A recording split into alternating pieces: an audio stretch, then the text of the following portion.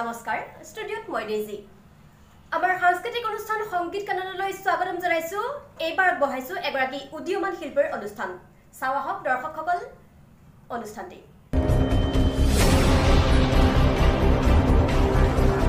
বিদ্যুৎ বিকাশে স্বাগতম জনাইছো এনি লাইভ টুডিঅ'ৰ বিশেষ অনুষ্ঠান সংগীতৰ কাননলৈ। আৰু আজি এই বিশেষ অনুষ্ঠান সংগীতৰ কাননত আমাৰ মাজত উপস্থিত আছে কণমানি কণ্ঠশিল্পী বৰ্ণিল হৃদয় শৰ্মা।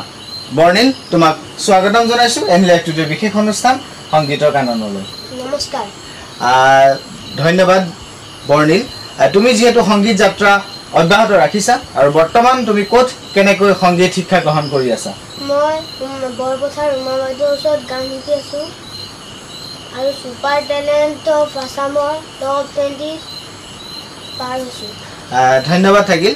তুমি যিহেতু অসমৰ এখন খুব ভাল প্ৰতিযোগিতা ছুপাৰ টেলেণ্ট অফ আছামৰ টপ টুৱেণ্টি অতিক্ৰম কৰিছা গতিকে তোমাৰ এতিয়া অনুভৱ কেনেকুৱা? অসমৰ ইমান ডাঙৰ ষ্টেজ এখনত গান গাবলৈ পাইছোঁ তাৰ বাবে বহুত ভাল লাগিছে। খুব সুন্দৰ। আৰু গতিকে এই মুহূৰ্তত আমি বৰ্ণিলৰ পৰা এটি গীত আমি শুনিম। বৰ্ণিল তোমাৰ পৰা এটি আমি গীত শুনিম।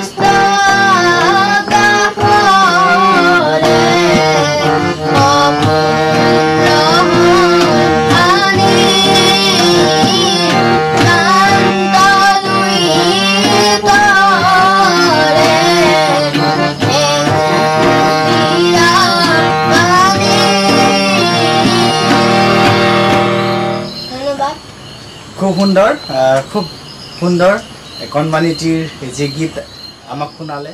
যিহেতু আমাৰ মাজত কণমানি কণ্ঠশিল্পী বৰ্ণিলৰ সংগীত শিক্ষয়িত্ৰী আমাৰ মাজত আছে। গতিকে আমি এই মুহূৰ্তত বাইদেউৰ পৰা বৰ্ণিলৰ বিষয়ে কিছু কথা জানিব চেষ্টা কৰিম। বাইদেউ আপোনাক স্বা- স্বাগতম জনাইছোঁ আমাৰ ইলেক্ট্ৰিটিৰ বিশেষ অনুষ্ঠান সংগীতৰ কাননলৈ। অকণমান বৰ্ণিলৰ বিষয়ে আপোনাৰ মুখৰ পৰা শুনিব বিচাৰিছোঁ। বৰ্ণিল একচুৱেলি বহুত ভাল বহুত মই পাইছোঁ মই সুধিলে মোক বহুত দুখ লাগে।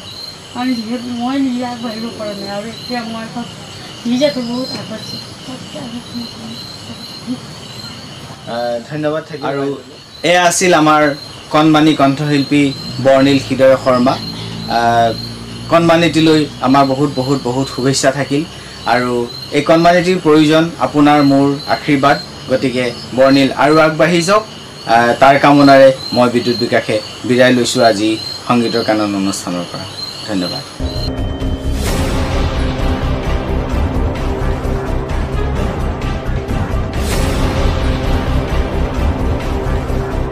দৰ্শকসকল সংগীত কানন অনুষ্ঠান ইমানতে অন্ত পৰিল। চাই থাকিব আমাৰ অনুষ্ঠানসমূহ। ধন্যবাদ।